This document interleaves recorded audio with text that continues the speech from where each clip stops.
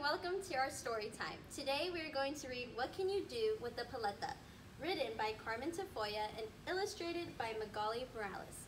Before we begin, what do you think this book is going to be about based on the cover? Pause this video. Okay, let's begin.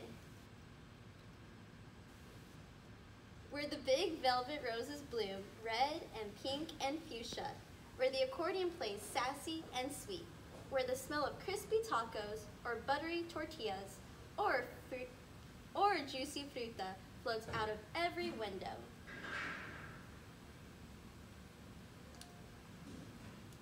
And where the paleta wagon rings its tinkly bell and carries a treasure of icy paletas in every color of the sarape, that's my barrio. You can dance to the accordion, you can smell the tacos, but can you do with the paleta?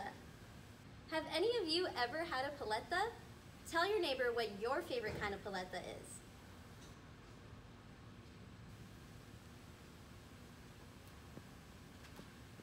You can paint your tongue purple and green and scare your brother. Or maybe learn to make tough decisions, strawberry or coconut. You can make new friends.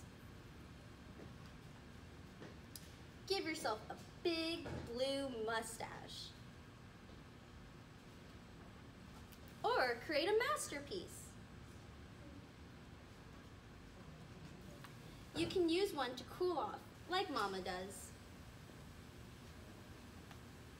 Theo once won a baseball game by offering one to the batter, right when the ball was being pitched. You can help the senora at the fruit stand make it through a long, hard day.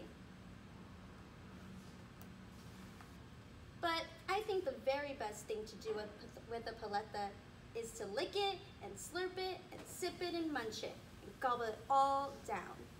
Where the big velvet roses bloom red and pink and fuchsia. Where the accordion plays sassy and sweet. Where the smell of crispy tacos or buttery tortillas or juicy fruta flows out of every window. And where the paleta wagon rings its tinkly bell and carries a treasure of icy paletas in every color of the sarape, that's my barrio. That completes our story time. My favorite paleta is strawberry. If you want to make a paleta just like this, see the description below. Thank you for joining our story time.